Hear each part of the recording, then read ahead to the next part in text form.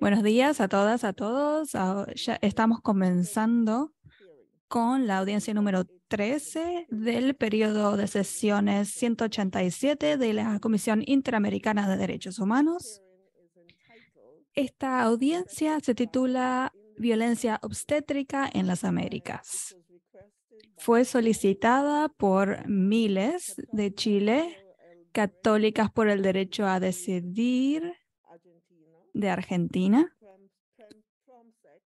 Promsex de Perú, GIRE y el Centro de Derechos Reproductivos, LAC. Mi nombre es Margaret May Macaulay, soy la presidenta de la Comisión Interamericana de Derechos Humanos.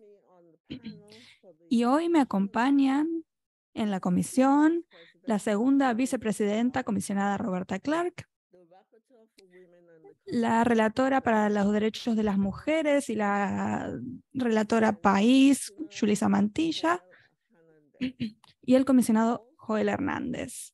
También presentes en esta audiencia tenemos a la secretaria ejecutiva, Tania Renault, secretaria adjunta para el monitoreo, María Claudia Pulido, y relatora especial para los derechos económicos, sociales, culturales y ambientales, Soledad García Muñoz. Para aquellos que están siguiendo esta audiencia online y que no están en el panel, quiero mencionarles el objetivo de esta audiencia que es aportar información actualizada sobre la violencia obstétrica que enfrentan las mujeres y las personas gestantes en la región y la forma en que los estados responden a sus obligaciones internacionales al respecto. Las organizaciones solicitantes refuerzan la necesidad de reconocer la existencia de la violencia obstétrica y de brindar una definición legal de este fenómeno. Habiendo dicho esto, les doy un saludo muy afectuoso a todas las personas que están aquí presentes hoy. Les agradezco a todos los miembros de la sociedad civil que han asistido y, por supuesto, a los miembros de la comisión que también están presentes y los miembros de la secretaría también. Voy a explicar la distribución del tiempo de esta sesión. La sociedad civil tendrá 25 minutos, la comisión tendrá 25 minutos también, luego la sociedad civil tendrá otros 22 minutos para hacer comentarios o dar respuestas a algunas preguntas y luego vamos a hacer un cierre de la sesión durante tres minutos. Habiendo dicho esto, le doy la palabra a la sociedad civil. Muchas gracias. Buenos días, honorable presidenta Margaret May Macaulay, secretaria ejecutiva Tania Renaum, comisionada Roberta Clark, comisionada Julisa Mantilla, comisionado Joel Hernández, secretaria adjunta María Claudia Pulido y relatora de ESCA Soledad García Muñoz e integrantes de la Comisión Interamericana, soy Carmen Cecilia Martínez, directora asociada de estrategias legales del programa para América Latina y el Caribe del Centro de Derechos Reproductivos y tengo el honor de iniciar la presentación de las organizaciones solicitantes. Esta comisión ha indicado que la violencia obstétrica es una forma de violencia que se manifiesta en cualquier momento durante la, prestación de servicios de salud materna y que está prohibida por los tratados interamericanos de derechos humanos. Desde las dos audiencias previas sobre el tema ante esta comisión, la Corte Interamericana, refiriendo desarrollos de la CIDH, del MESECBI, de comités y mecanismos especiales de Naciones Unidas, ha avanzado acogiendo el concepto de violencia obstétrica. Lo hizo en su opinión consultiva número 29 y luego en su decisión sobre el caso Brites Arce, definiéndola como una forma de violencia basada en el género, prohibida por los tratados interamericanos de derechos humanos, incluyendo la Convención Belén do Pará, ejercida por los encargados de la atención en salud sobre las personas gestantes durante el acceso a los servicios de salud que tienen lugar en el embarazo, parto y posparto, que se expresa mayoritaria, aunque no exclusivamente, en un trato deshumanizado, irrespetuoso, abusivo o negligente, en la denegación de tratamiento e información, en intervenciones médicas forzadas o coaccionadas y en la tendencia a patologizar los procesos reproductivos. Conocemos entonces que existe un consenso que establece que los estados tienen la obligación de prevenir y abstenerse de practicar violencia obstétrica. Al mismo tiempo, conocemos que tener un estándar novedoso, amplio, vinculante, es insuficiente si no se implementa y si no se erradican las causas que lo generan. Por ello es importante recordar que nuestra libertad y autonomía en materia de salud reproductiva ha sido históricamente limitada o anulada con base en estereotipos de género. Esta comisión ya ha señalado que la violencia obstétrica encierra concepciones machistas y estereotipadas, en efecto, la violencia obstétrica se genera en muchas ocasiones a partir de la idea de que las embarazadas son identificadas como seres vulnerables e incapaces de tomar decisiones confiables o de que las mujeres son vistas como el ente, reproductivo por excelencia y en ese sentido quedar en embarazo, independientemente de si decidimos continuarlo o no, debe implicar un sufrimiento. Erradicar estereotipos de género de los servicios de salud reproductiva sigue siendo una deuda pendiente de nuestros sistemas. Doy paso a mi colega Rebeca Ramos, directora ejecutiva de GIRE. Muy buenos días, honorables integrantes de la comisión. Entre las acciones de violencia obstétrica que causan daño psicológico están los actos discriminatorios, el uso del lenguaje ofensivo, humillante o sarcástico durante la prestación de los servicios, la falta de información oportuna sobre el proceso reproductivo y el trato deshumanizado. Las manifestaciones de violencia física son las prácticas invasivas como las cesáreas injustificadas, la esterilización no consentida o forzada, el suministro infundado de medicamentos o el retraso de la atención médica de urgencia. En el caso de México, el sector público concentra más del 70% de los partos y tres de cada diez mujeres han expresado haber sido víctimas de violencia obstétrica. Si se desagrega esta cifra en términos de edad y discapacidad, se observa que las mujeres con discapacidad más jóvenes son más propensas a experimentar este tipo de violencia. Una de cada dos mujeres menor de 20 años con discapacidad informó haber sufrido al menos un tipo de violencia obstétrica durante su último parto. Reconocer y nombrar la violencia obstétrica sin duda ha contribuido a verla como una forma específica de violencia institucional y de género que constituye una violación a los derechos humanos. Sin embargo, incluir la violencia obstétrica en los códigos penales es problemático. Tipificarla como un delito implica atender estas conductas únicamente mediante acciones punitivas en lo individual. Ello genera resistencias entre el personal de salud que con frecuencia enfrenta condiciones adversas para realizar su trabajo. Por ejemplo, frente a una propuesta de tipificación de la violencia obstétrica en México, la comunidad médica señaló lo siguiente. Cito, las condiciones de la actual infraestructura hospitalaria en nuestro país no permiten realizar las prácticas de acompañamiento durante el trabajo de parto y nacimiento que serían deseables. Dicha infraestructura es uno de los principales factores que intervienen en este complejo proceso y los ginecobstetras somos totalmente ajenos a ella. La carencia de instalaciones apropiadas, de suministros esenciales y de personal calificado son una realidad inobjetable. No ha sido ni será la solución enfocarse en generar leyes de carácter punitivo. Cierro la cita.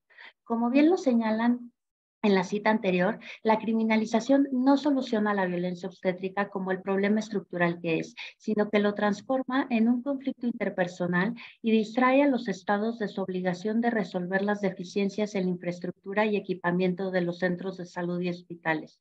En el acompañamiento de casos, GIRE ha detectado que la obtención de sanciones penales en general no cubre las expectativas de las sobrevivientes de violencia obstétrica. Estas suelen estar interesadas en que el Estado reconozca las experiencias que vivieron, asuma la responsabilidad de sus acciones, por ejemplo, mediante disculpas públicas y sobre todo garantice que los actos constitutivos de violencia obstétrica que vivieron no vuelvan a ocurrir. Ahora doy paso a mi colega Rocío García Garro de Católicas por el Derecho a Decidir Argentina. Buenos días, honorables integrantes de la comisión. Nos interesa poner de manifiesto que en el caso particular del Estado argentino Si bien antes de la sentencia Brites Arce había adoptado un enfoque de derechos humanos para abordar la legislación referida a partos y puerperios de mujeres y personas gestantes, en la práctica aparecen dificultades en su implementación, tanto en la salud pública, privada y de la seguridad social. En esta línea, Argentina incorporó a su normativa la Ley de Protección Integral para prevenir, sancionar y erradicar la violencia contra las mujeres, donde define a la violencia obstétrica como aquella que ejerce el personal de salud sobre el cuerpo y los procesos reproductivos de las mujeres, expresada en un trato deshumanizado, un abuso de medicalización y patologización de los procesos naturales. En dicha ley se proponen medidas de reparación y de carácter tuitivo, pero no sanciones penales.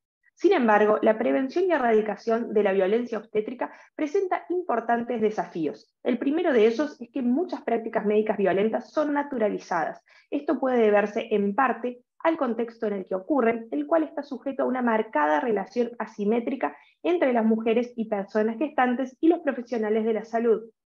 Además, el Poder Judicial no cuenta con la formación adecuada para abordar la temática y proponer medidas que eviten la perpetuación de la violencia obstétrica.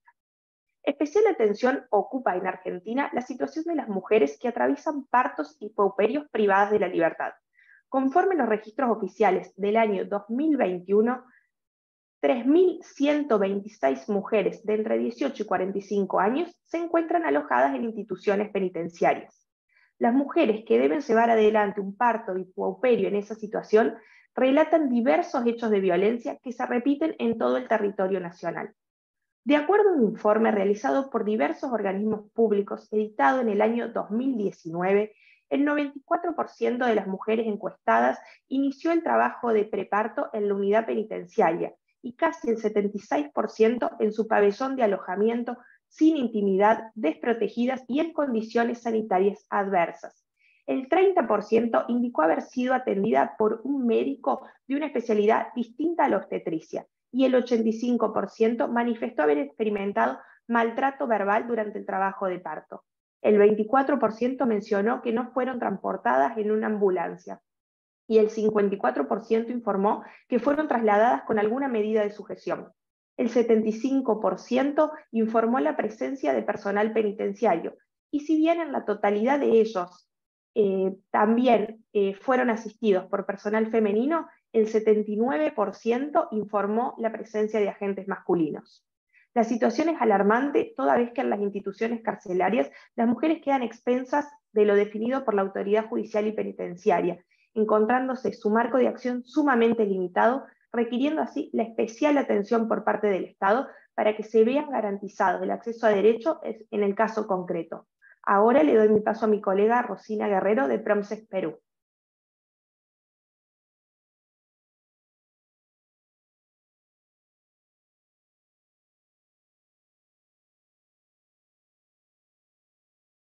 Buenos días, honorables miembros de la Comisión.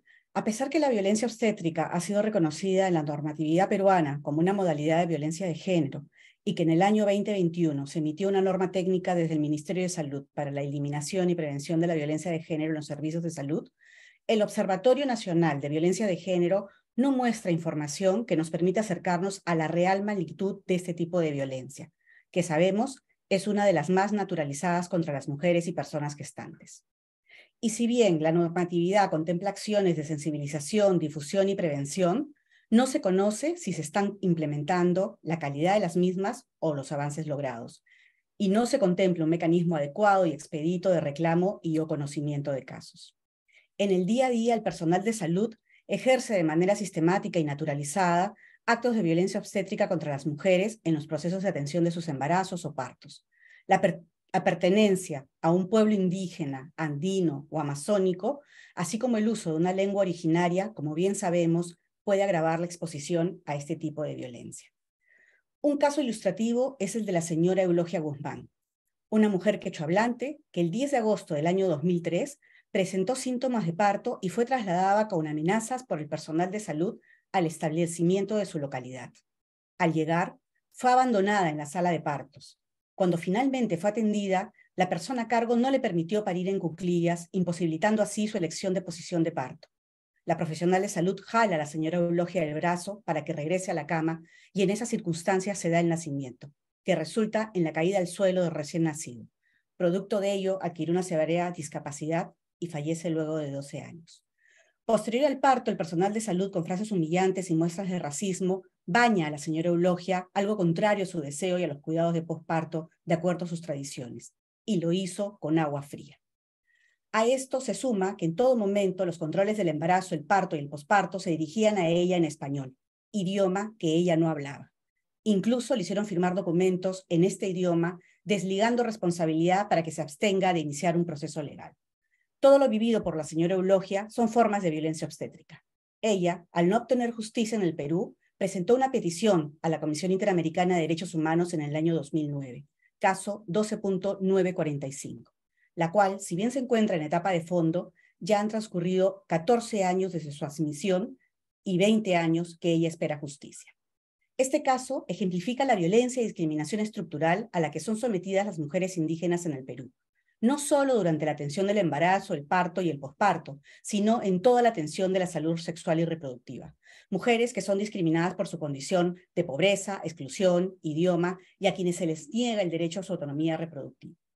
Resulta imperativo que se adopten medidas para modificar los estereotipos, prejuicios y patrones de atención que operan en los servicios de salud del Perú y que son atentatorios contra los derechos de las mujeres, en especial de las mujeres indígenas. Es importante contar con datos sobre la magnitud de este problema, así como establecer procesos claros, óptimos y céleres para la investigación independiente sobre los hechos de violencia obstétrica para que casos como el de la señora Eulogia no vuelvan a ocurrir. Paso la palabra a mi compañera Javiera Bardones de la Corporación Miles. Muy buenos días, honorables integrantes de la comisión. La violencia obstétrica incluye aquellas prácticas perjudiciales que se producen en el ámbito del aborto en los servicios de salud. En Chile, si bien el Estado avanzó con la despenalización del aborto en tres causales, hasta la fecha se observan diversas prácticas ilegales e irregulares que impactan en el ejercicio de los derechos humanos, específicamente en la integridad personal y autonomía reproductiva. Por un lado, estas prácticas se traducen en tratos irrespetuosos, abusivos o negligentes, tales como cuestionamiento directo de la decisión o del relato para constituir causal y violación al secreto médico profesional. Por otro lado, también se identifican obstructores del proceso, los cuales implican una denegación en el acceso a la prestación o generan dilatación excesiva que es especialmente grave en aquellos casos en que hay una edad gestacional límite. Ejemplos de ellos son la dificultad para acceder a la información sobre la ley, dado principalmente por la prohibición legal de publicidad de estos procedimientos, la dilatación del proceso de diagnóstico por la exigencia de numerosos exámenes y la no consideración de otros, la exigencia de requisitos distintos a los señalados por ley, por ejemplo, la necesidad de contar con diagnósticos adicionales o una edad gestacional menor, y la objeción de conciencia institucional, el elevado número de objetores de conciencia en el sistema público de salud y la falta de personal médico en regiones impide que hayan profesionales no objetores disponibles. La violencia obstétrica afecta de manera desproporcionada a niñas y adolescentes que buscan acceder a este servicio de salud, volviendo este proceso revictimizante y reforzando el estigma del aborto, siendo la situación más crítica aquella a la que se exponen las niñas, en Chile, todo acceso carnal en menores de 14 años constituye violación. Por tanto, si resulta un embarazo producto de ello, la niña puede acceder al aborto. Sin embargo, este grupo es el que menos constituye causal y accede a esta prestación médica. A modo ejemplar, en el año 2022, de la cantidad de hospitalizaciones en embarazo, parto y perperio de niñas de 10 a 14 años, solo un 8.3 constituyó causal, mientras que la tasa de interrupción alcanzó solo un 53% de los casos constituidos.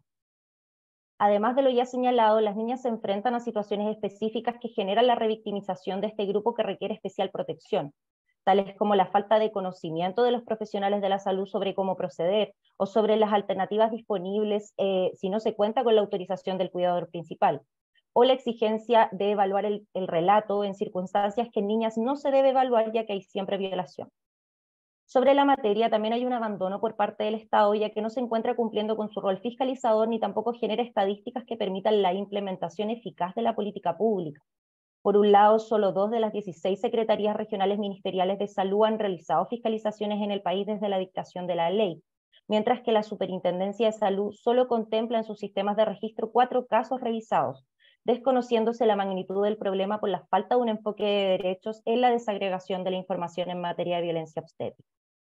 Paso la palabra a mi colega María Paula Houghton del Grupo Médico por el Derecho a Decidir. Buenos días a todos y a todas. Desde el Grupo Médico por el Derecho a Decidir Colombia, agradecemos y nos sentimos honradas por participar en esta audiencia, cuya realización parte de reconocer la existencia de la violencia obstétrica y sus implicaciones. En cuanto a los retos que tenemos para disminuirla o evitarla, es fundamental que desde el sector salud y en especial los profesionales se avance en el reconocimiento de esta forma de violencia contra las mujeres y se avance en la regulación de una atención obstétrica respetuosa. Consideramos que el enfoque punitivo o la criminalización genera mayores resistencias en los profesionales y tiene un efecto contraproducente. Las y los profesionales no quieren verse a sí mismos como victimarios, su conducta se da en el marco de constructos socioculturales y tradiciones aprendidas durante su formación profesional sobre la maternidad, las mujeres y el mismo rol de los profesionales en el parto.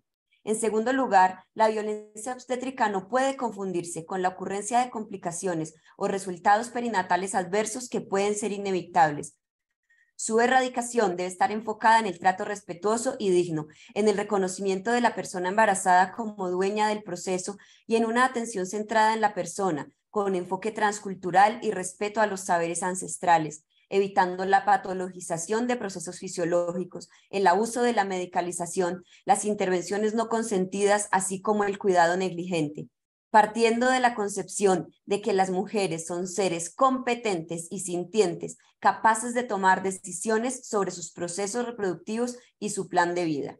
Este cuidado respetuoso requiere como mínimo avances en los diferentes países en cuanto a, primero, educación con enfoque de derechos humanos, género, cuidado diferencial, que sea transversal y obligatoria en todas las profesiones de la salud y afines sensibilización permanente a los sectores de salud con base en el derecho a la autonomía y la dignidad, educación y empoderamiento de las mujeres, niñas y adolescentes en materia de derechos para que puedan apropiarse de sus procesos reproductivos y su plan de vida. Segundo, recursos, inversión en cuanto a infraestructura, personal suficiente y con garantías laborales para evitar sobrecarga insumos suficientes para proveer la mejor atención basada en la evidencia y tecnologías modernas. Aprovechamos esta audiencia para denunciar que en Colombia se están cerrando progresivamente salas de maternidad y también de pediatría por razones meramente económicas. Mecanismos de regulación, identificación, monitoreo mediante la medición sistemática de la satisfacción de la atención, inclusión de la violencia obstétrica en los sistemas de información de violencia basada en género en los estados, creación de comités de seguimiento, autorregulación y rutas claras de abordaje de los casos en las instituciones. Y también sistema de sanciones para instituciones que toleren la violencia y para profesionales que cometan actos graves o que sean reincidentes a pesar de intervenciones no punitivas. Finalmente, proponemos hacer un llamado a los países para incorporar estándares mínimos de cuidado que incluyan cuidado confidente, digno y no discriminatorio, respetuoso y no estigmatizante, cuidado óptimo con el uso de tecnologías adecuadas y basado en la evidencia, derecho a la información y acceso al aborto. Políticas para erradicar el abuso físico, como es el uso de la fuerza, sugestiones innecesarias, privar de alimentos o bebidas o no proveer analgesia, políticas para erradicar el abuso psicológico, como es la discriminación, la amenaza, la culpabilización, la burla y la humillación. Muchas gracias.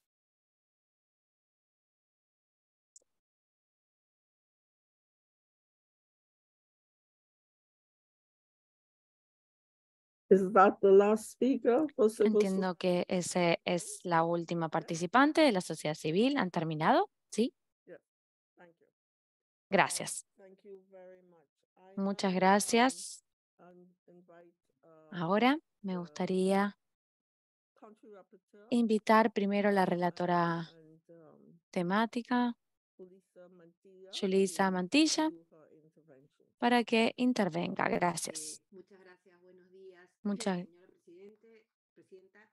Inicio con un saludo muy cordial a mis colegas, a las representantes de acá de la sociedad civil que están en esta audiencia tan importante. Como siempre digo, muchas gracias no solo por estar acá, por haber preparado la audiencia, sino por el trabajo cotidiano que, como ustedes saben, veo muy de cerca. Eh, agradezco también la información que nos están dando, nos permite también, eh, dentro de la línea de trabajo de la Comisión Interamericana, que ha trabajado el tema, para la redundancia, de la violencia obstétrica, eh, antes, digamos, de la jurisprudencia ya obtenida desde la Corte, tenía algunas puntos muy puntuales, muy específicos, perdón. En primer lugar, el tema de la respuesta penal. Me parece muy importante que lo hayan resaltado, porque este tema del populismo punitivo que eh, existe en nuestras regiones eh, tiende a cualquier eh, situación de violencia de derechos humanos, en este caso violencia de género, a transformarla en un tipo penal y con eso pareciera que se terminó el, problema, ¿no? Y aquí me parece sumamente importante lo que nos decían sobre el tema de las expectativas de las víctimas. Entonces, eh, eh, María Paula había hecho una referencia sobre el tema del personal de salud. Yo quería saber si tienen más información sobre la formación eh, que, que, reciben, la sensibilización, pero también la formación en, los, en, los, en las universidades, ¿no? y aquí, perdón, solamente comentar que yo tenía un estudiante en la maestría que era doctora, que me decía que el parto vertical era lo más conveniente para para las mujeres, pero no para los médicos. Entonces yo quería saber cómo es, después de tanto tiempo, si hay algún tipo de incorporación de enfoque de género, sobre todo en este tema de la maternidad. Lo segundo, ya ustedes han hecho referencia a algunos aspectos de la interseccionalidad eh, que nos parece muy importante que está pasando con la, violencia obstétrica y el racismo para las mujeres indígenas que ustedes han mencionado, pero también para las mujeres afro, para las mujeres eh, con discapacidad, ¿no? Con discapacidad eh, de cualquier tipo, la situación de niñas y adolescentes, y también la situación de hombres trans, si ustedes tienen información sobre, sobre la, la, violencia que se puede estar dando contra, contra todo este grupo. Eh, y finalmente, quería saber eh, cuáles son los retos concretos que ustedes como defensoras de derechos sexuales y reproductivos están padeciendo. Siempre sucede que quienes defienden los derechos de las mujeres, sobre todo en este tema, terminan siendo víctimas de otro tipo de agresiones, desde el estigma, desde amenazas y demás. Y si ustedes pudieran también plantear ante la comisión en esta audiencia general cuáles son los retos específicos que ustedes están padeciendo eh, por estar visibilizando estos hechos de violencia obstétrica. Muchas gracias, Presidenta.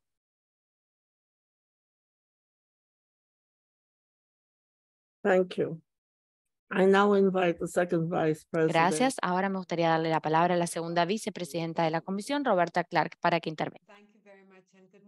Muchas gracias. Buenos días a todos, a todas. Quería agradecerles por toda la información que están compartiendo con nosotros. Yo estaba escuchándolas y yo creo que esta es una de las grandes ironías de esta vida de género que vivimos. Por un lado, la maternidad es una prioridad, pero al mismo tiempo, las mujeres son las que son tratadas de una peor manera dentro del ciclo de la maternidad. Muchas veces se las puede tratar de manera indiferente, sin una calidad de salud adecuada. La experiencia del cuidado obstétrico varía también en función de distintos factores interseccionales. Y además, las mujeres pobres no reciben el tratamiento y no tienen el mismo tipo de acceso a los servicios obstétricos. Esta es una de las ironías sobre las que tenemos que hablar cuando hablamos de la igualdad de género, porque es un elemento fundacional para poder entender cómo muchas veces se olvida que las mujeres deben vivir su proyecto de vida como desean. Yo quería preguntarles, ah, ustedes dieron ejemplos de, de violencia obstétrica, pero me gustaría saber si ustedes han visto casos de negación de algunos servicios. Esto ocurre en el Caribe.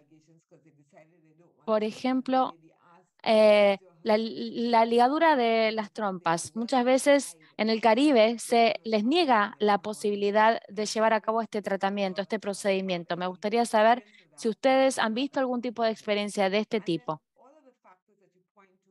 Y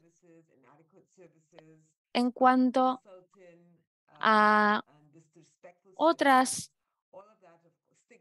cuestiones que ustedes mencionaron, servicios estigmatizantes y demás, me gustaría saber si ustedes han podido hacer un seguimiento sobre cuál es la tasa de, mortalidad materna. Y cuál es esa tasa en el caso de algunos grupos en especial, como las mujeres trans, las mujeres afrodescendientes. Me gustaría saber si hay datos para tener una idea de las estadísticas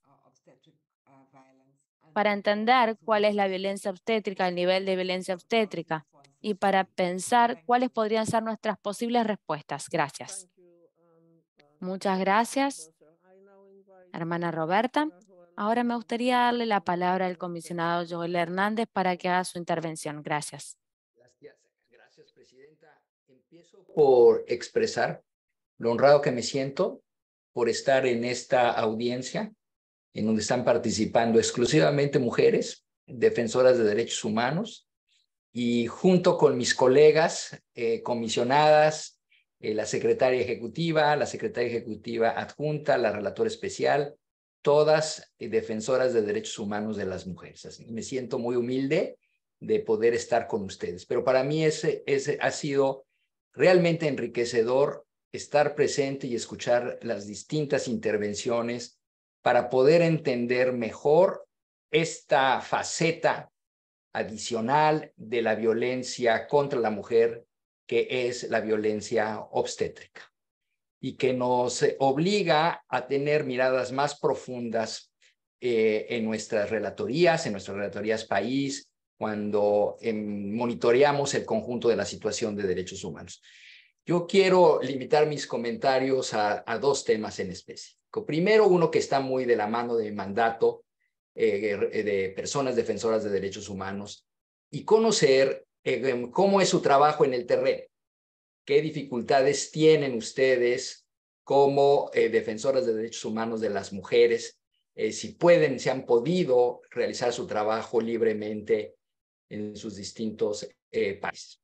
Segundo, me, me quedé muy impresionado por el caso que se encuentra en el sistema, el caso peruano que menciona Rosina este Guerrero. Y eso trajo a mi mente el reciente reconocimiento de responsabilidad internacional hecho por el presidente Boric en una solución amistosa, el caso Francisca, una esterilización de mujer portadora de VIH sin su consentimiento y donde el Centro de Derechos Sexuales y Reproductivos tuvo un rol fundamental en la representación de Francisca. Como relator de Chile fue un momento muy especial para mí. En mayo del año pasado, haber, estar eh, haber estado presente en ese acto de reconocimiento, conocer la vida de Francisca, escucharla en un audio, eh, porque ella se mantuvo en el anonimato. ¿Y por qué lo menciono? Eh, porque me parece que em, después de una larga espera que tuvo Francisca en el sistema interamericano, encontró en un acuerdo de solución amistosa la reparación integral que busca. Desde luego, aquí es importante que exista la voluntad de ambas partes, de la peticionaria y del Estado, pero cuando la hay, creo que tenemos que, que seguir. Eso sería por mi parte, Presidenta. Muchas gracias.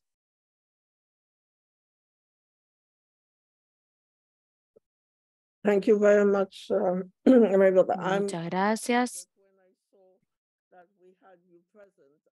Um, yo estaba un poco molesta que usted estuviera eh, aquí, pero realmente es muy importante que haya que nuestros colegas varones en la comisión estén presentes aquí, en esta audiencia. Ahora me gustaría darle la palabra a la secretaria ejecutiva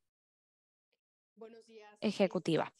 Buenos días, eh, comisionadas, comisionados, y buenos días a em, las eh, personas de la sociedad civil, a las mujeres que hoy están aquí haciendo una audiencia eh, totalmente que visibiliza un problema muy serio en materia de derechos humanos. La Comisión se ha pronunciado en diversas ocasiones sobre este tema, en comunicados de prensa, me viene a la mente Bolivia en el 2021 sobre derechos sexuales y reproductivos de los niños y las niñas, El Salvador reiteradamente sobre temas de acceso al, al, sistema penal en términos de la prohibición total del aborto y una crítica importante a ello.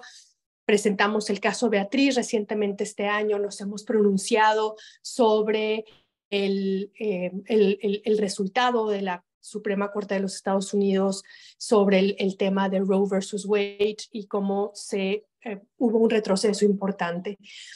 Así es que creo que asistimos a una región donde estamos viendo retrocesos importantes y a mí me gustaría preguntarles si ustedes en este contexto que es muy preocupante para la vida y la integridad de las mujeres, ustedes encuentran alguna buena práctica que desde eh, la Comisión y la Secretaría Ejecutiva podamos ver, porque en el, en el término de la cooperación técnica, del mandato de cooperación técnica que también tiene la, Comisión Interamericana, cómo podemos trasladar y hacer una especie de semillero de buenas prácticas. Nos gustaría mucho porque, claro, estos casos que ustedes traen, aunque son casos que representan la historia de una persona, seguramente también representan las historias de muchas mujeres en la región.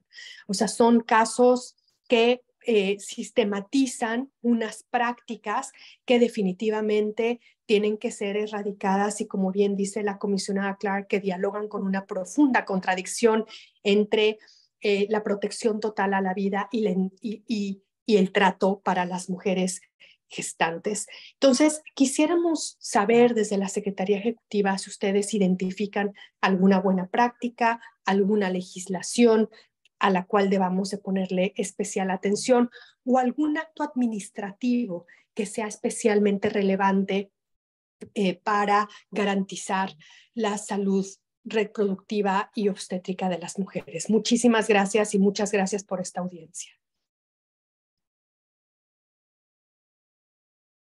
Thank you very much. Um, um, Muchas gracias, secretaria ejecutiva. Ahora invito a participar a la secretaria ejecutiva asistente para monitoreo, adjunta, perdón, para monitoreo.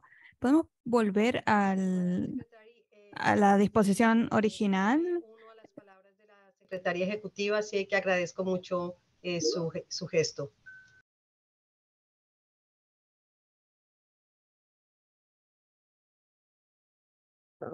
Thank you. Um, Muy bien, muchas gracias. ¿Podríamos volver a la disposición de la pantalla original? Porque me resulta difícil cuando no veo a las personas a las que tengo que cederle la palabra.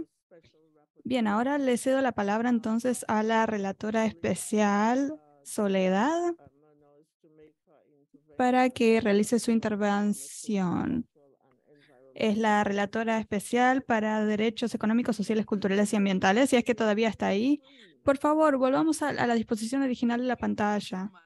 Presidente, buenos días y muchas gracias a todas. Enhorabuena de verdad a la comisión por conceder esta audiencia, que es muy importante también para, para la Relatoría Especial sobre los DESCA como mandato especializado en derecho de la salud y considerando que, que sin duda la violencia obstétrica representa una grave violación del derecho a la vida y del derecho a la salud de las mujeres, como también de los derechos sexuales y los derechos reproductivos.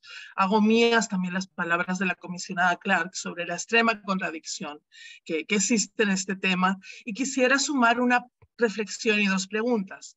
En primer lugar, cómo la violencia obstétrica afecta de manera desproporcionada y grave a las mujeres en mayor situación de vulnerabilidad, como son las mujeres indígenas, como son las mujeres que viven en la pobreza o la extrema pobreza, que no tienen acceso a los eh, sistemas de salud y mucho menos a las tecnologías sanitarias más novedosas.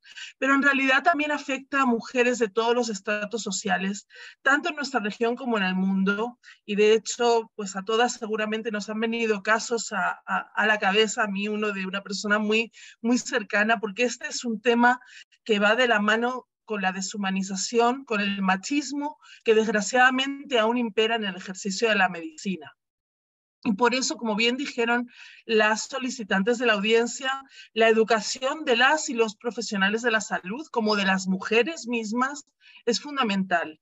Y yo quisiera hacer dos preguntas concretas. Una sobre el impacto en la salud mental de las mujeres de la violencia este, obstétrica, si tuvieran eh, datos que compartir al respecto, porque me consta que la violencia obstétrica eh, en todas sus formas y las más graves aún peor, eh, genera graves impactos y graves traumas para las mujeres. Y en segundo lugar, me referiría a esto que ustedes denominaron la excesiva medicalización. Yo diría también el uso de prácticas innecesarias a veces, como son las cesáreas. Y en ese sentido quisiera saber si ustedes tienen datos sobre la práctica de cesáreas, de medicalización y también sobre el impacto en la salud reproductiva futura de las mujeres y en la salud de los bebés de las cesáreas que no son necesarias, porque he, también leído algunos estudios al respecto.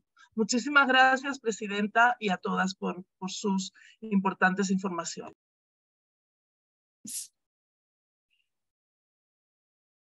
Thank you very much, uh, Special Rapporteur. Muchísimas gracias, relatora especial. Quiero hacer algunos comentarios muy breves. Y uno tiene que ver con que estoy de acuerdo con lo que dijo mi hermana Roberta. Siempre me ha eh, sorprendido muchísimo que se enfoque, haya un enfoque tal en los hombres en posiciones de liderazgo en relación con, con nuestra salud sexual y reproductiva, con nuestros cuerpos, cuando el tema de eh, la eh, interrupción del embarazo eh, se debate en diversos espacios. Y sin embargo, alguien cuando intervino dijo que el hecho de que los embarazos y cómo se lo trata sea importante para la vida de las mujeres. Bueno, en realidad no estoy de acuerdo porque creo que es importante para todos los seres humanos del mundo. Es importante para los hombres y para las mujeres, ambos. Y sin embargo, sufrimos una regresión en el respeto que se debe brindar a todas las facetas de la salud sexual y reproductiva y a los derechos de las mujeres. Estoy decepcionada de que no hayamos mencionado con suficiente claridad o profundidad a las mujeres afrodescendientes y el tratamiento que recibimos, porque están en el último escalón en, este, en todos los aspectos, pero en este aspecto particular de la violencia obstétrica también. Y me gustaría mucho escuchar información que sepan con respecto a este grupo de mujeres. Creo que tenemos que observar los casos de violencia obstétrica desde la perspectiva del grado de culpabilidad de los perpetradores. Estas son personas que están capacitadas en el ejercicio de la medicina y una de las prácticas básicas de su profesión es no lastimar a sus pacientes y, sin embargo, lastiman a sus pacientes. En la mayoría de los, de los casos deciden intencionalmente, por ejemplo, hacer una histerectomía, un, procedimiento de histerectomía, deciden eh, intencionalmente hacer una ligadura de trompas para impedirles eh, tener más hijos y no, no, no obtienen el consentimiento de las mujeres, ellos deciden. Y ese entonces es un acto intencional. Luego tenemos otras personas que son eh, negligentes, meramente. y luego hay otras personas que actúan porque no saben cómo realizar los procedimientos y por supuesto que hay otros que sí cuidan de las mujeres. Tenemos que mencionar también a los buenos profesionales, pero las cifras incrementan, cifras de médicos que intencionalmente le quitan la decisión a la mujer de lo que debería ella atravesar, porque antes que nada no se le explica la situación de salud por la que está atravesando. Sabemos de la dificultad de, de, de la lengua, del idioma, cuando no hay interpretación intérpretes presentes en donde claramente la mujer no puede entender al médico y el médico no puede entender a la mujer. Ningún hospital debería permitir que avance un procedimiento si no hay esa comunicación. Entonces, los médicos son culpables, las autoridades hospitalarias son culpables, el Estado es culpable en esas circunstancias. Creo que tenemos que lidiar con este asunto más frecuentemente. No hemos tenido la suficiente cantidad de audiencias sobre este tema y tenemos que tener más audiencias.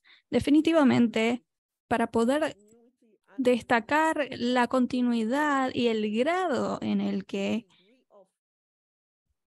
el grado eh, en el que cada vez ocurren más casos con estas con esta regresión en muchísimos estados en donde los hombres creen que pueden controlar la vida de las mujeres en esta instancia en particular de su situación de salud. En las circunstancias que yo describí, las mujeres no son las únicas las que se ven afectadas, sino que el resto de la humanidad también se ve afectada. Entonces espero que la comisión pueda asistirlas y trabajar con ustedes en una relación estrecha para poder abordar estas problemáticas. y para poder obtener algunos resultados que nos gustaría obtener. Porque tenemos que realmente avanzar con decisión en este tema, porque de otra forma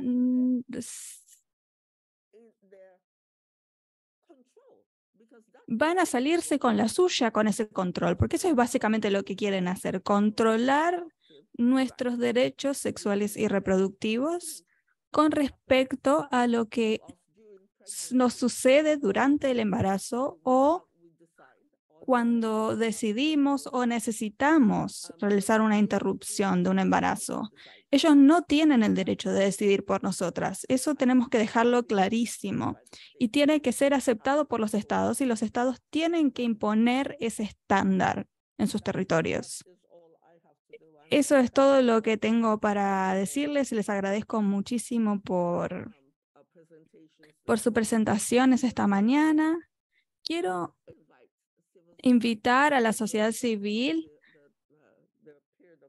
a que intervenga en estos 22 minutos que tienen, pero también tienen otros minutos adicionales de la comisión que la comisión no utilizó. Así que gracias y por favor, adelante pueden comenzar.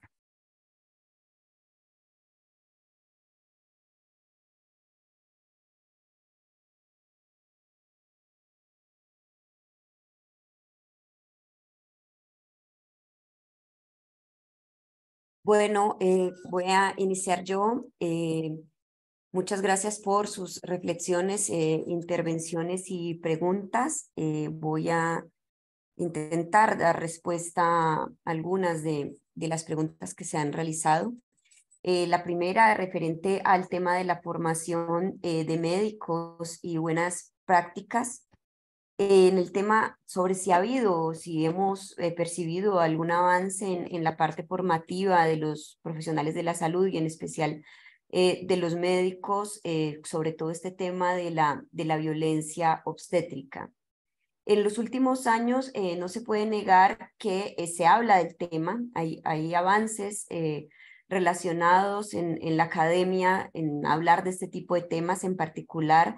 Eh, se tiende a hablar más de humanización, de atención humanizada o de parto humanizado que directamente de, confrontar a los profesionales con el concepto de violencia obstétrica, porque parece que hay temor a mm, generar eh, respuestas o reacciones negativas sin embargo, en la formación lo que podemos observar, por lo menos en Colombia, es que esta formación tiene unas características que yo la llamaría desigual, es decir, en unas facultades, en unas universidades la hay y en otras no.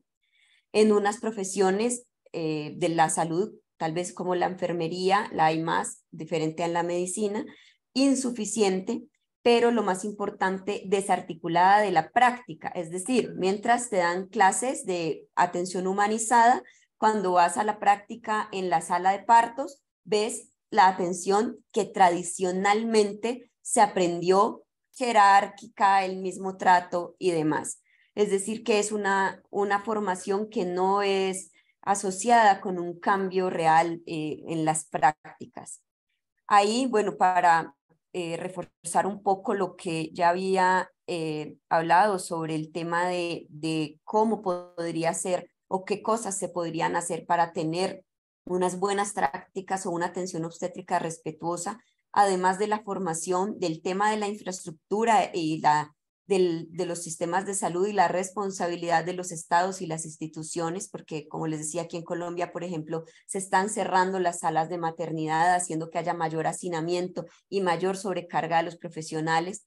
Creo que más que crear protocolos, que a veces esto de la atención humanizada se convierte en nuevos protocolos, en nuevas reglas que cumplir, en nuevas listas de chequeo obligatorias, tanto para el personal como para la mujer lo que se trata es de cambiar completamente el pensamiento y el paradigma de los profesionales que atienden a las mujeres con la idea de que ellos son los que saben qué es lo mejor para la mujer y para el parto o lo mejor para su, em, lo que de mejor debe hacer con su embarazo.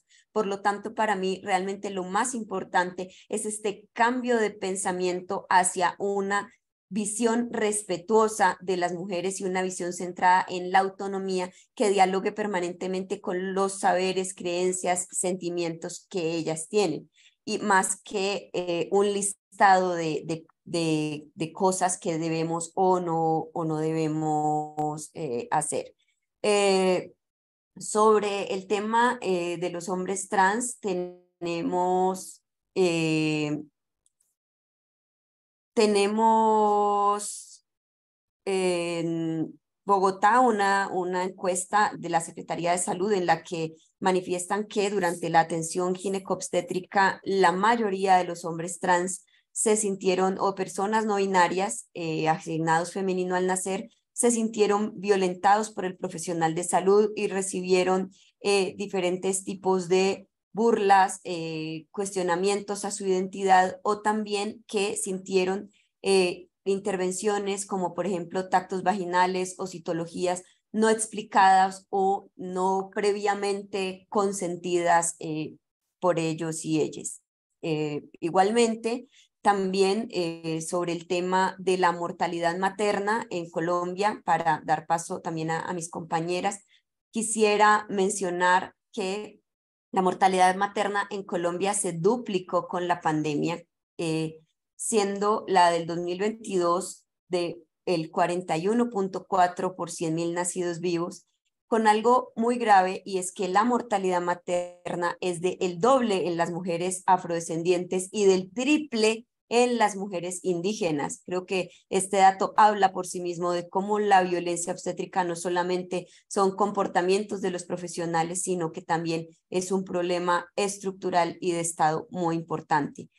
Eh, y sobre la salud mental, mm, bueno, aunque no tenemos eh, datos oficiales, eh, recientes investigaciones de colectivos y colectivas de derechos humanos muestran que eh, la salud mental se puede ver afectada de diferentes maneras e incluso ellas hablan de la posibilidad de un síndrome de estrés postraumático relacionado con los eventos vividos durante el parto.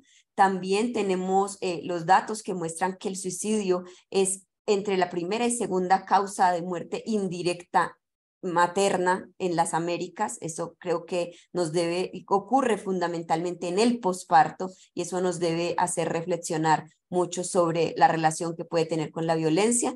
Y doy paso a mi compañera Rosina para que continúe eh, con las respuestas a sus preguntas.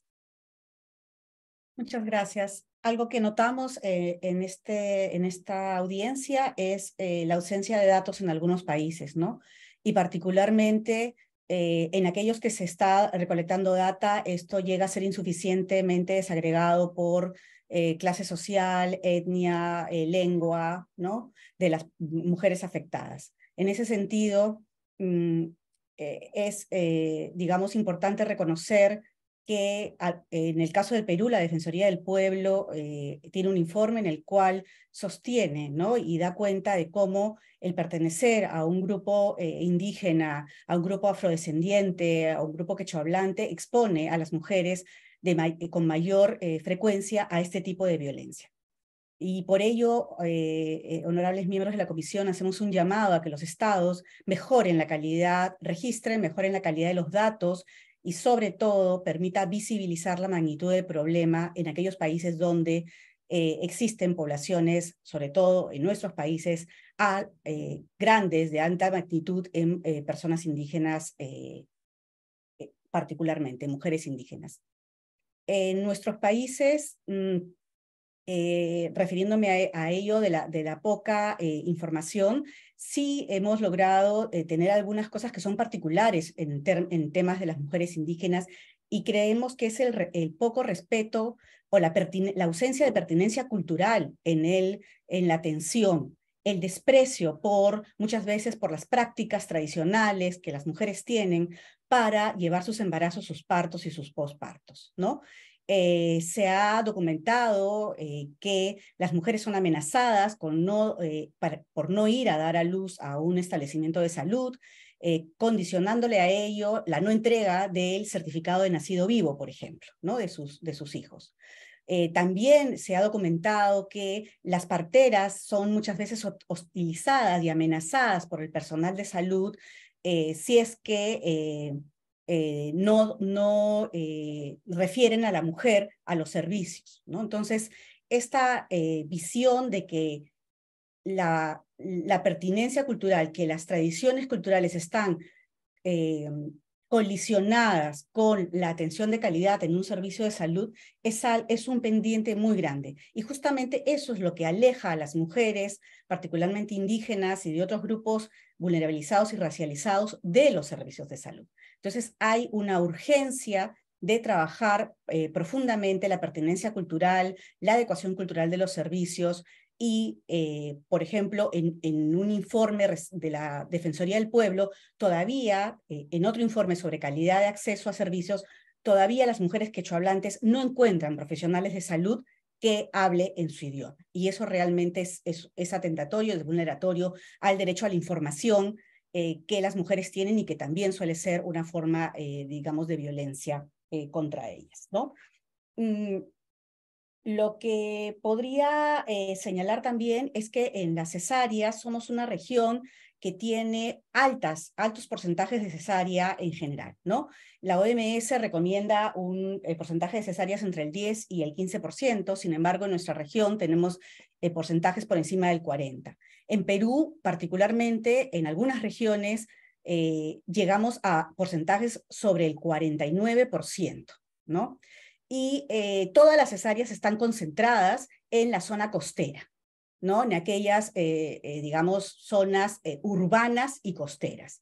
Hay una diferencia de casi 23 puntos entre las zonas urbanas y rurales en la implementación de las cesáreas, ¿no? Y esto, como sabemos, tiene que ver como ya hemos recogido también testimonios de las propias mujeres y de los profesionales de salud, y es que la posición del parto de las mujeres es negada por una eh, acomodación o facilitación al profesional de salud en el momento del parto. Sobre salud mental, eh, nosotras eh, en PROMSEX realizamos un estudio sobre la violencia obstétrica en mujeres que tuvieron embarazos con fetos incompatibles con la vida. Y lo que encontramos en los relatos de las mujeres principalmente fue la afectación en la salud mental. Fue lo que más relataron las mujeres en los impactos que ellas habían vivido en relación a situaciones de la habilidad emocional, tristeza, insomnio, ansiedad, eh, no tener ganas de alimentarse, no tener ganas de levantarse, ¿no? aislamiento familiar, pérdida de la pareja, por ejemplo, y eh, situaciones de, estrés agudo durante todo el proceso ¿no? que se instalaron y muchas de ellas, luego de casi un año de haber pasado por esas situaciones de violencia obstétrica, seguían mostrando situaciones de, eh, que podían ser compatibles con depresión, ansiedad y estrés postraumático. Eh, entonces, eso, eh, digamos, como para mm, compartir un poco sobre ello y sobre Eulogia, comisionado Hernández, el caso de la señora Eulogia es litigado por el Centro de Derechos Reproductivos y PROMSEX, somos representantes eh, legales de la señora Eulogia y estamos, eh, digamos, llanas a poder eh, seguir con los trámites y las conversaciones para que Eulogia encuentre justicia finalmente. Así que muchas gracias por, por resaltarlo y es algo que también queríamos hacer notar en este espacio. doy pase a mi compañera, que también responderá a otras preguntas. Muchas gracias, Rosina. Eh, solo para complementar la respuesta de Rosina y en cuanto a, a estadísticas en materia de salud mental, comentar que recientemente una colectiva en Chile realizó una encuesta sobre la materia y eh, indicó que el 64,2% de las personas que refieren violencia ginecobstétrica sienten que esta experiencia afectó su salud mental. También encontramos una cifra en Argentina que está por el 79% de las denuncias eh, refieren también haber sufrido violencia psicológica. Entonces, eso solo para complementar esa información y ahora eh, para responder un poco con respecto a los retos y desafíos, que claramente son bastantes, pero voy a intentar hacer hincapié en los que consideramos más relevantes. En primer lugar, eh, el tema del acceso a la información, es decir, como organizaciones de la sociedad civil muchas veces nos, nos, vemos enfrentadas a estas brechas en materia informativa eh, por la falta de información disponible por, por, las instituciones del Estado, pero también por los largos tiempos de espera para poder acceder a información cuando ésta es solicitada. Y ya una vez que esta información llega, también nos enfrentamos a una falta de desagregación de la información con perspectiva de género, con un enfoque de derechos humanos, por ende también eh, cuesta eh, realizar el monitoreo correctamente y evaluar la situación país. Por otro lado, también eh, nos hemos enfrentado eh, a falta de servicios eh, disponibles en la oferta estatal con respecto a, la orientación y acompañamiento de este tipo de denuncias, por lo que muchas veces como organizaciones de la sociedad civil nos toca suplir en parte este vacío. Y eso impacta obviamente de manera desproporcionada en todas estas personas que requieren de un acompañamiento y un acceso a la justicia cuando ven vulnerados sus derechos. Por otro lado, también nos hemos enfrentado ataques y amenazas directas en la labor que realizamos. Específicamente en Chile eh, ha existido un ataque a un centro de salud de APROFA y amenazas directas a, nuestra corporación, Corporación Miles, eh, a nuestras directoras y a nuestro abogado. Eso también es una situación grave que eh, es transversal. ¿ya? También eh, específicamente en Chile nos hemos enfrentado también eh, a una avanzada conservadurista eh, en este nuevo proceso constituyente que estamos vivenciando, que ha agitado la opinión política, la opinión pública, pero también em, el panorama legislativo, es decir, no, nos hemos percatado también de varios proyectos de ley que pueden vulnerar el principio de no regresividad en la materia. Y finalmente también eh, yo creo que uno de los principales obstáculos también pasa un poco en, el contenido que se le otorga al concepto de violencia obstétrica y que muchas veces se enfoca en, eh, únicamente en materia de parto y posparto, cuando también tiene que visibilizar la violencia que se produce eh, durante todo el ciclo vital. Entonces ahí también es importante resaltar aquella violencia que pueden sufrir niñas, por ejemplo, o adultos mayores. Así que eso quería agregar. Ahora paso la palabra a mi compañera Rebeca. Muchas gracias, Javi. Bueno, yo nada más agregar en, el, en cuestiones de datos que desde Gire eh, hemos visto que aunque intuitivamente se podría suponer la relación entre muerte, que la relación entre muerte materna y violencia obstétrica es directamente proporcional, esto no siempre así no es, no es siempre así, ya que hay factores como el acceso a recursos hospitalarios que desempeñan un papel muy importante. Debido a esta eh, situación, desde Gire estamos desarrollando una metodología muy sencilla con el objetivo de concentrar la información de ambos fenómenos en un único indicador, eh, un poco eh, cerrar con el tema de la razón de muerte materna que lee la, los casos de muerte materna junto con los datos que nos arrojan en México la encuesta Nacional sobre Dinámica de las Relaciones en los Hogares en términos de, violencia obstétrica. Y en el caso específico en donde la, relatora eh, Roberta Clark preguntaba sobre eh, estos, eh, el consentimiento que se recaba por parte de las parejas en, en nuestro caso y en otros, no nada más en México, sino en la región. Hemos visto que, por ejemplo, para eh, proveer eh, eh, procedimientos de ligadura de trompas de, anticonceptivos permanentes. No se pregunta a la mujer, a la persona embarazada que está en el proceso, sino que se recaba el, consentimiento por parte de, la pareja. En el caso de, México tuvimos un caso que resolvió la Suprema Corte de Justicia hace pocos años, el caso de, Sonia, en donde efectivamente analizó una situación en donde no se había recabado de manera libre, previa e informada el consentimiento de, de, esta mujer para recibir un anticonceptivo permanente. Y ahí la Corte hizo una, un análisis muy importante en términos, sí, de los elementos que teóricamente ya conocemos eh, sobre el consentimiento informado, pero otra cosa que fue muy importante fue que estableció a las autoridades responsables que el incumplimiento de cualquiera de estos elementos, que sea pleno, informado, libre y eh, con información eh, accesible, Incluso si se contaba con un documento por escrito y firmado por eh, la persona, no se consideraría como eh, consentimiento informado. Entonces creemos que aquí también en términos de las buenas prácticas, este tipo de resoluciones de, altas cortes pueden pues informar y colaborar con las autoridades de salud. Y yo lo dejo aquí para dar eh, paso a mi compañera Rocío García. Muchas gracias. Bueno, muy brevemente, eh, porque el tiempo, la verdad que estirano nos queda muy poquito, quería profundizar en relación a las interrupciones de embarazo y la violencia obstétrica, que es donde más eh, se profundizan. En el caso de Argentina, como si bien eh, ya habían mencionado, aproximadamente el 79% de las denuncias que se receptan hablan de violencia psicológica. En el caso de la atención de emergencias obstétricas por interrupciones de embarazo, se profundizan aún más, donde no es solo la violencia psicológica, los malos tratos, sino inclusive la negación de la atención.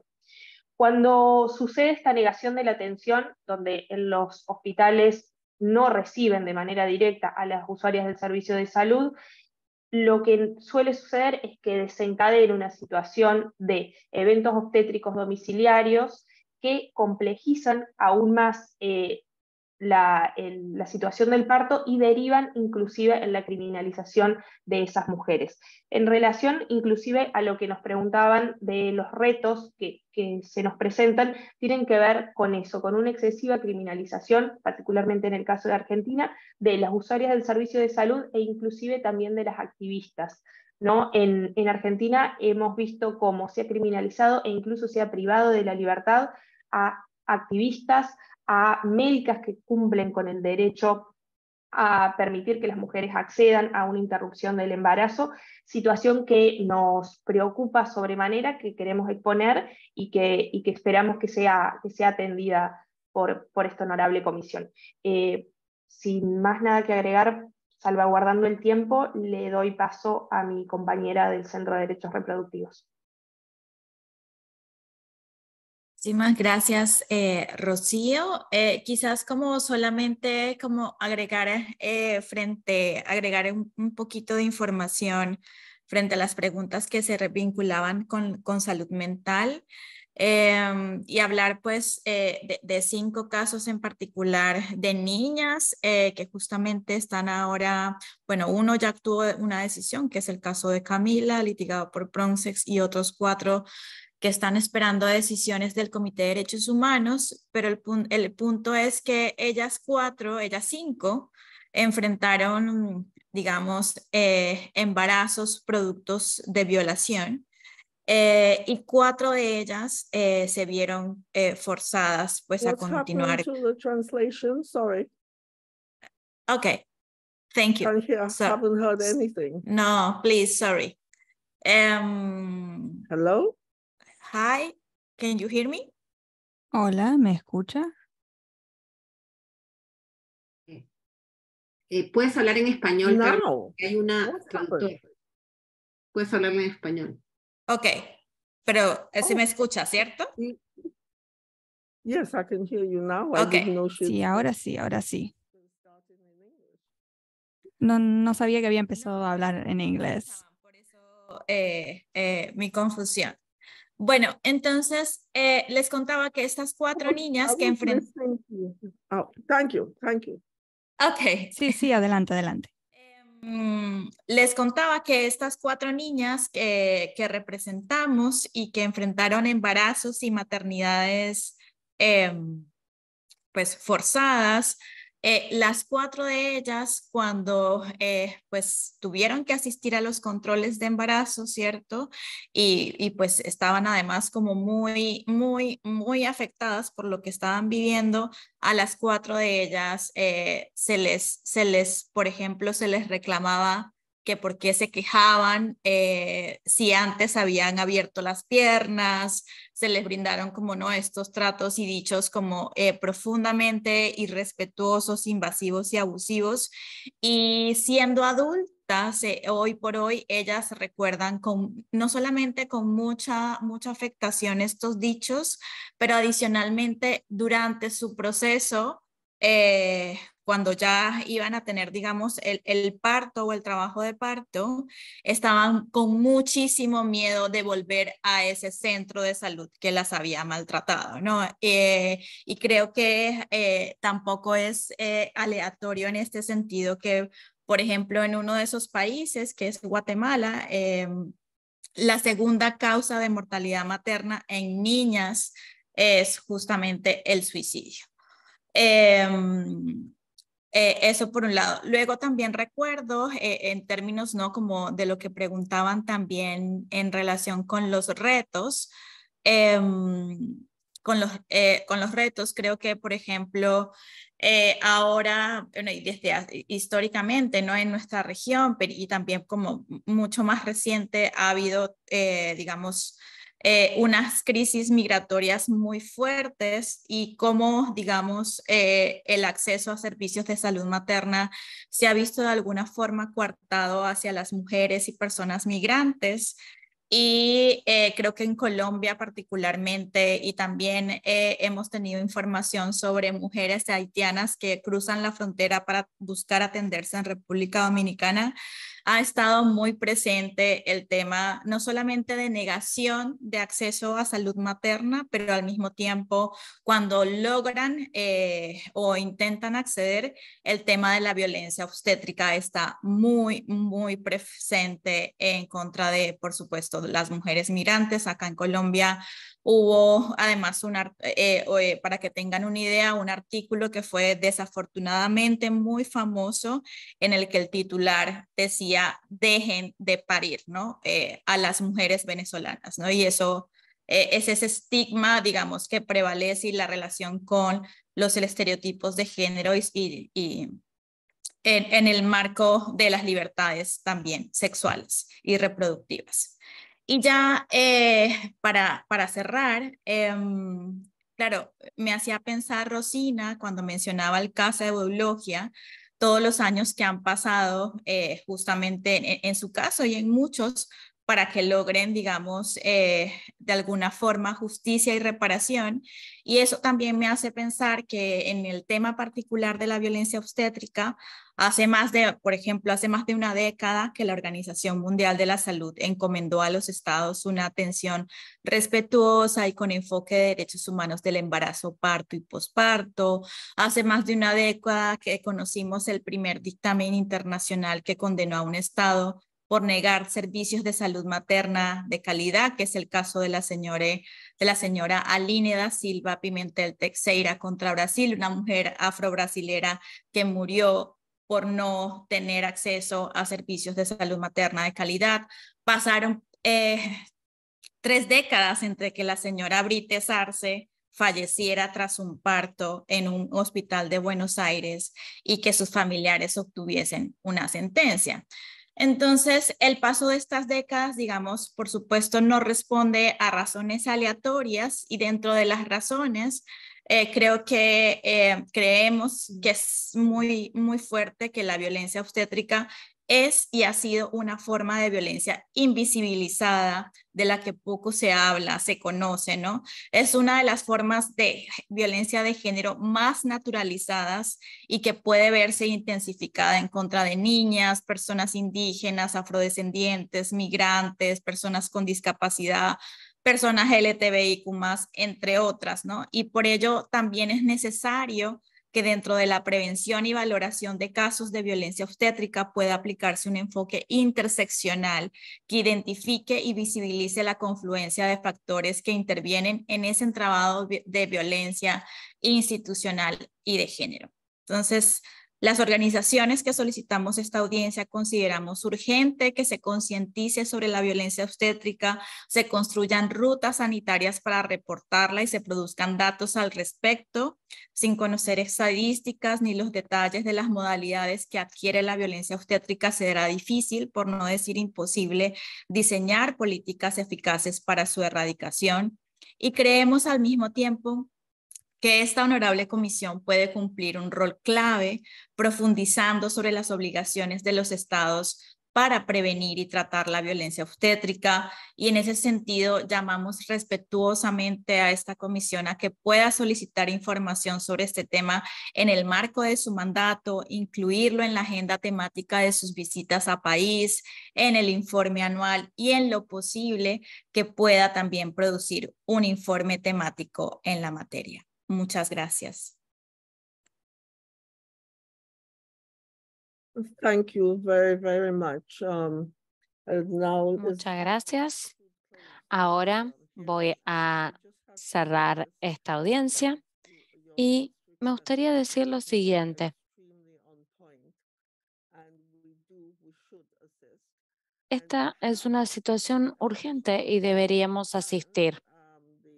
Tal vez los comisionados y comisionadas y la Secretaría Ejecutiva podría considerar la posibilidad de enviar cartas artículo 14 a aquellos países que no han ratificado la convención y cartas de artículo 18 solicitando información específica sobre la violencia obstétrica en cada uno de estos estados para poder tener más información, para tener los datos que necesitamos. Y si los países no prestan atención a mantener estos datos, tenemos que insistir y recomendar que deben establecer procedimientos para recolectar datos. Y en segundo lugar, creo que tenemos que hacernos preguntas vis a vis, teniendo en cuenta la conducta de los médicos y lo que sucede con ellos.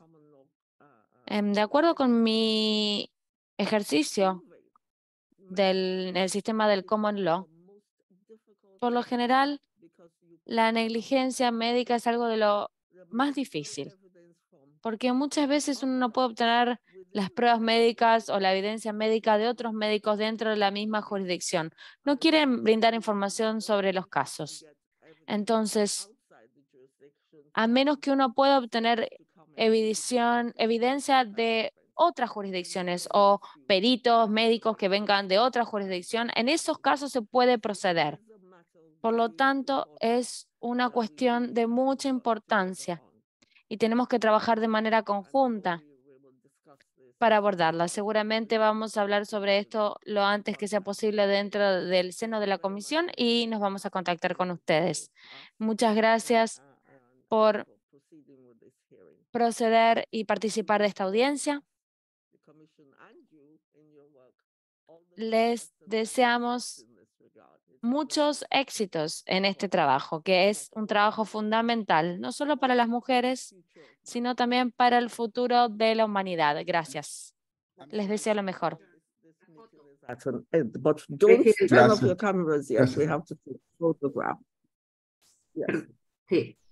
Hola a todas todos. Si pueden prender sus cámaras, if you can turn on your cameras. And, and look to the cameras, please. Perfect. Thank you so much. Muchas gracias. Muchas Buen gracias. Día, gracias. Muchas gracias. Buen día. Gracias, gracias. Hasta luego. Gracias. Hasta luego.